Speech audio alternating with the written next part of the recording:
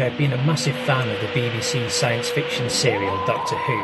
I could talk for hours about this show, and indeed, whenever there's a subject close to my heart that I believe I can talk for hours on, my recourse is often the same to make a series of videos on the subject. My intention with this new series is to highlight some of the stories from the classic era of the show, the classic era being the initial 26 year run from 1963 through to its cancellation in 1989, before what has subsequently come to be known as the modern era, following the show's resurrection in 2005 and its continuation to this day.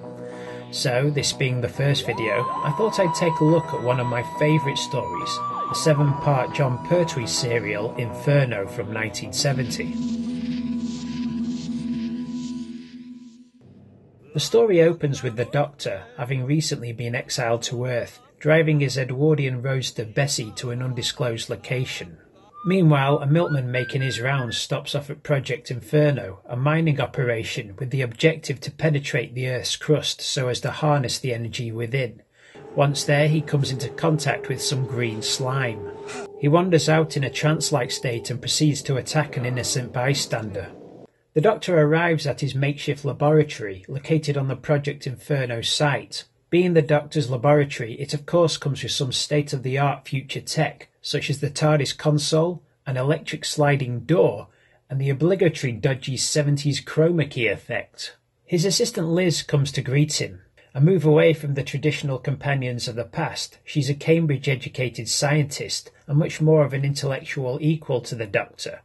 As a result of this, of course, the character only lasted for one series. Despite her being a greater feminist take on the traditional assistant role, she still wasn't above a little early 70s sexist patronising. Look, Liz. Look, without the TARDIS, I feel rather lost.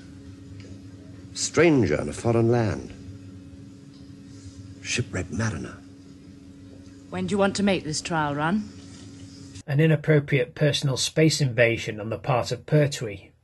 As this iteration of the Doctor is stranded on Earth, he attempts, with Liz's help, to mend his console. However, because of the antics of the rapidly mutating Slocum wreaking havoc in the base, a sudden energy surge results in the Doctor being momentarily sucked into a different dimension this episode was broadcast a mere nine months after Woodstock, and by the look of this, the Doctor could well have got his hands on the bad acid that was doing the rounds there.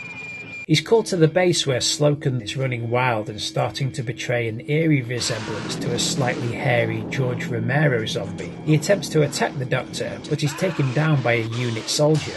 The Doctor then receives word that the soldier has gone missing, up on the plant-based roof, he discovers him, looking a little green around the gills.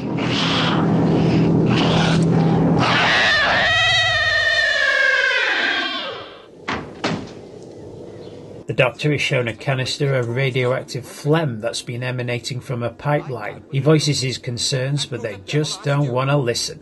They're too busy asking if they could, and they never stop to think if they should. Yes, well, I'll tell you something that should be of vital interest to you, Professor. But what? That you, sir, are a nitwit. You tell him, Doctor. Once again, he resorts to Liz for assistance in the only way an early 70s male in his 50s can. Liz, go and check the trigamma circuits on the console again. What do you want me to do that? No, please. Don't ask any questions. It's a good girl. Right possessing the Y chromosome can make you wince sometimes. The Doctor discovers Professor Stahlman attempting to destroy a vital microcircuit and delivers him a side order of Venusian karate on his ass. What on earth do you think you're doing? Venusian karate. It's very effective. Hold it long enough, and the subject remains permanently paralyzed. You don't want to mess with this bad boy. The Doctor and Liz return to the makeshift laboratory Wow, they're really proud of their sci-fi tech here, aren't they? Liz returns to the research centre. Whilst there, the base experiences a sudden power surge that appears to be emanating from the doctor's laboratory. Liz gets back to the lab just in time to witness the doctor vanishing. He wakes up in seemingly the exact same location.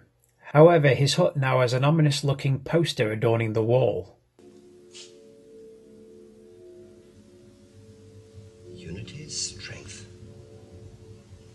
Okay, so it's a parallel universe, an England that's now under fascist control. Got it. So something here is amiss. His sonic screwdriver is no longer able to operate something as technologically advanced as an electric door. As he leaves the lab, he is instantly fired at by two members of UNIT and a chase ensues.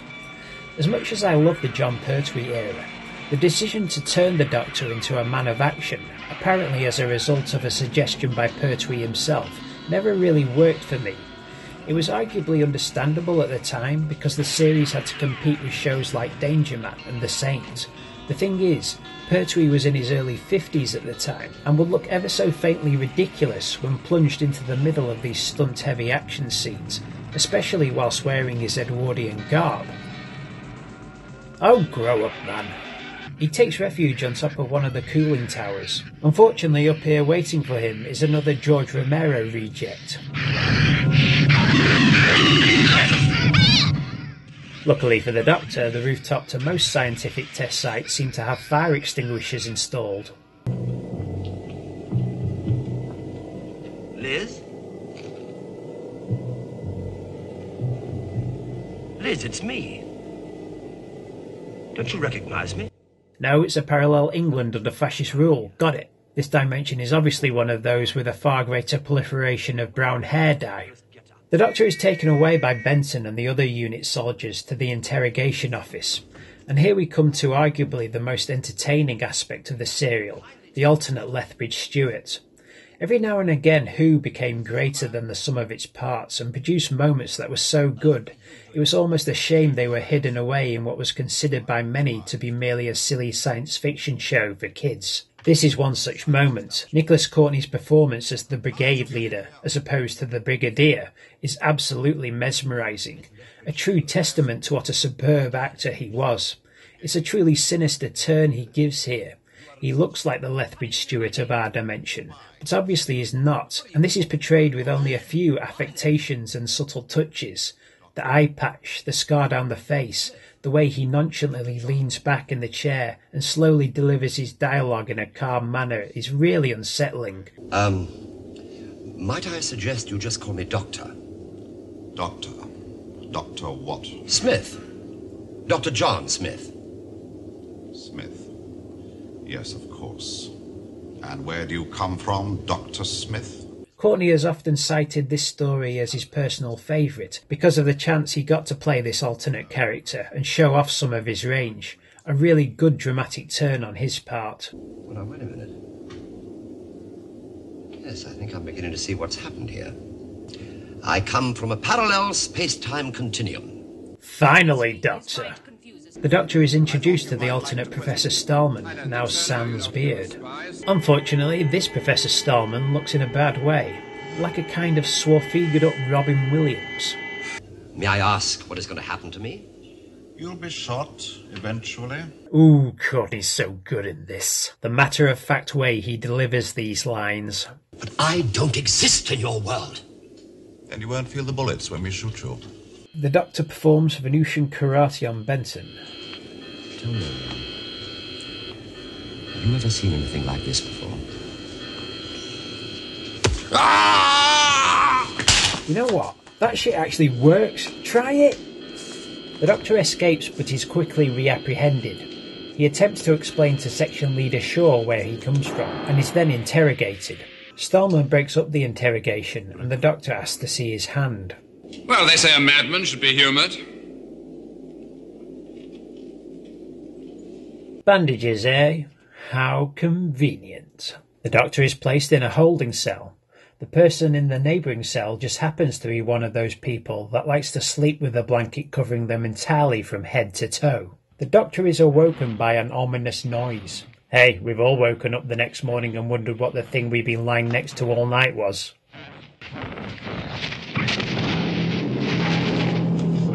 Yep, that's pretty much par for the course with me as well, even down to the prison cell setting. Not even flexible plastic bars can hold this beastie back. Thankfully for the Doctor, though, he does appear to suffer from an extreme aversion to mattresses. The Doctor escapes, finds a radiation suit, and makes his way back into the operation room. However, the brigade leader recognises him. If you break through the Earth's crust now, you'll release forces you never dreamed could exist. You'll note that throughout this serial, the sound of the bore drill plays as an ominous background noise, but gets increasingly louder and louder as the story progresses. This was a great way of building up tension. It feels far more atmospheric than many other Who stories. There's a sort of ticking clock element to this one. The louder the drill gets, the closer we the viewer feel we're getting to some sort of dramatic payoff. The way it ratchets up the tension over its episodic run makes this a unique Who story, more thriller than straight up science fiction. An explosion rocks the centre of operations. The Doctor puts his radiation suit back on, and we get some more of that 50 plus action.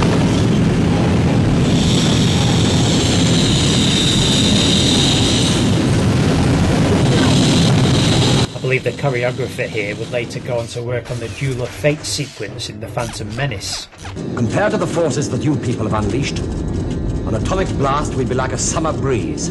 And now you'll note that the ever increasing sound of the bore drill has been replaced by volcanic eruptions. The flashing red danger lights have come on. There's now a dousing of perspiration on all the actors. The jackets have come off, the ties have been loosened, the sleeves have been rolled up, all to up the high octane stakes some more. Incidentally, a scene was recorded and then deleted from episode 5, featuring the Doctor, Section Leader Shaw, and the Brigade Leader listening to a radio broadcast. The radio announcer was voiced by Jon Pertwee. Producer Barry Letts felt that his voice was too recognisable to viewers, and the scene was edited out prior to transmission. There can be no doubt that the wave of earth tremors and quakes are in some way connected with the penetration of the Earth's outer crust. I don't know, I think I would have been fooled. The heat and the pressures will continue to build up until the Earth dissolves in a fury of expanding gases, just as it was millions of years ago. How long have we got? Maybe a few weeks, maybe only a few days.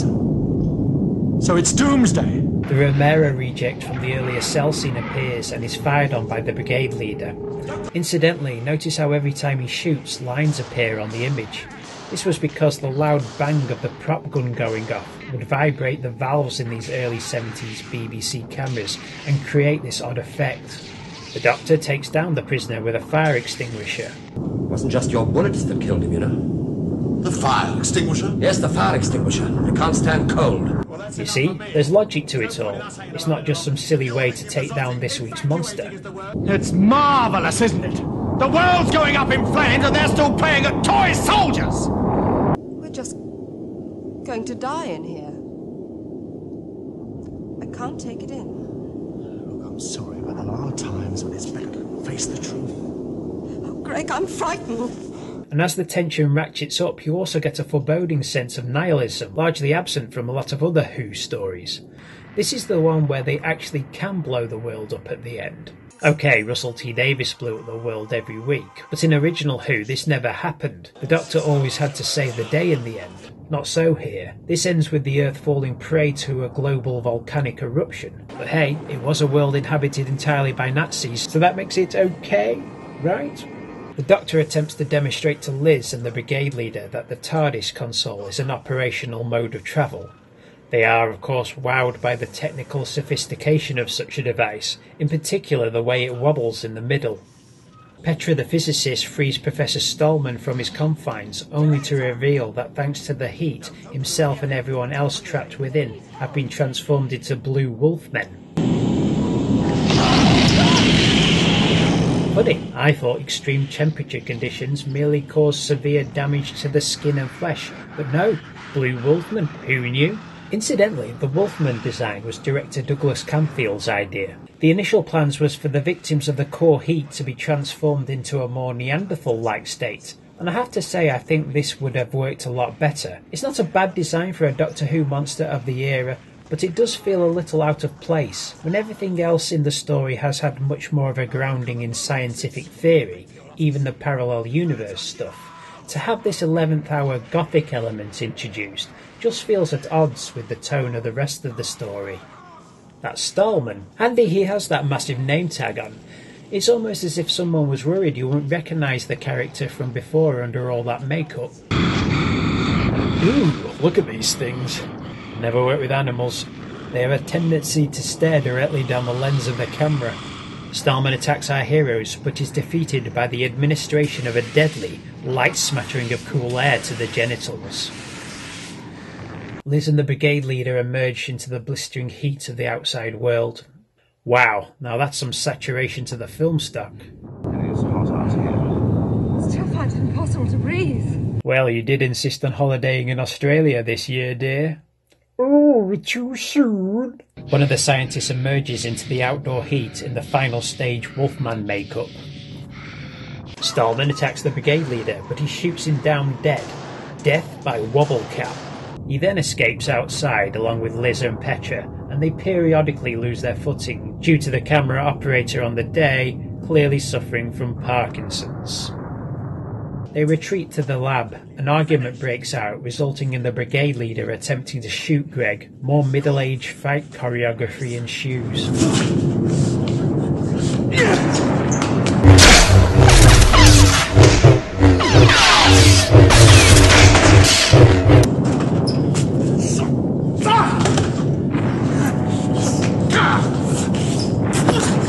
Greg returns for Petra, who is busy trying to fix the relay circuits.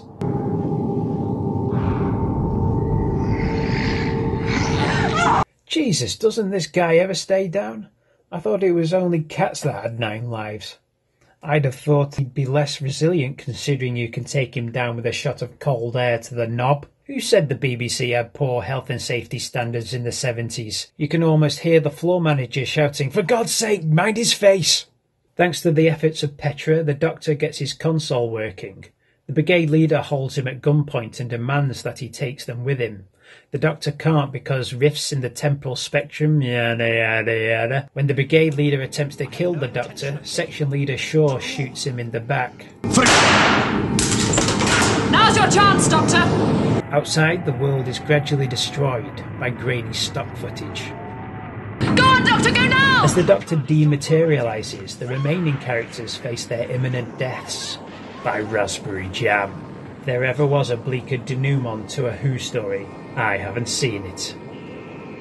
The Doctor wakes up back in our dimension and is discovered by Liz. Heart's beating steadily? Both of them? Yes. He's an alien. The Doctor wakes. Doctor, you really ought to rest. You, you've been unconscious. That's why I'm helping you up. The Doctor attempts to foil the penetration of the Earth's crust. Stop this drilling! You wouldn't listen to me. You all think mad. However, as he has been led away, Well, I'm sorry about this, gentlemen. foiled by pinching. Whoever said playground tactics couldn't best two highly trained military personnel? Meanwhile, our world's Professor Stahlman is confused by a seeming outbreak of mild green fairy liquid. Wow, that was some quick wolfing out. Didn't that take like four episodes in the other universe? And again he attacks. Not too many shots, Brigadier. You know it plays merry hell with a camera image. That's it. Stick to the tried and tested method. Death by Chili Willy. Stahlman has sabotaged the controls, leaving the Doctor very little time to repair them. But of course he does, just in time to stop the drill before it penetrates the Earth's crust. Well done, Doctor. The Doctor then attempts to leave with his newly restored TARDIS console. Goodbye, Liz. I shall miss you, my dear. But I've had about all I can stand of this pompous, self-opinionated idiot here. Now see what you've done. Well, I didn't know he'd go off like that. The man's so infernally touchy. Welcome back. Where did you go? A few seconds forward in time, and a few hundred yards due east in space. The rubbish tip? The rubbish tip. Pompous, self opinionated idiot, I believe you said, Doctor? Yes, well, we, we don't want to bear a grudge for a few hasty words, do we? Oh, Doctor. So, there we have Inferno. This could very well be my favourite of the classic era serials, maybe my favourite of all time. I don't want to categorically say it is because they made so many and there are so many good ones, but this one is top five for me easily. The Jon Pertwee era was really the point where the show started to experiment with gearing it towards a more adult audience, an audience that had grown up with the show throughout the 60s. It wasn't solely for children anymore by this point. The storylines of this era certainly display some of the most mature writing the series ever achieved. In later years, the series would come to strike a much finer balance when it came to appealing to both adult and child alike, making it quintessential Saturday night family entertainment. However, I really dig the sophistication of the Jon Pertwee era, especially here in the first year of his tenure. The storylines have a meatiness to them. It feels less like disposable television, and Inferno is the finest example of this. Economically written, very well executed, with very little flab on it, despite its seven episode run. Imaginative science fiction that's able to touch on some deep, heady themes. It's maybe not considered one of the absolute best by most fans, but it's certainly a favourite of mine. That's 1970s Inferno. Anyway, thanks for joining me for this one, folks. If you liked it, I may do some more of these.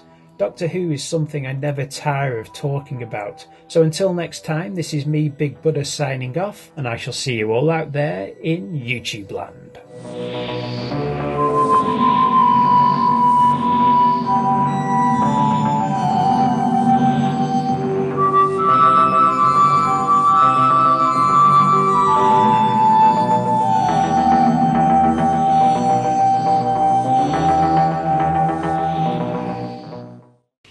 Nice happy ending, is there?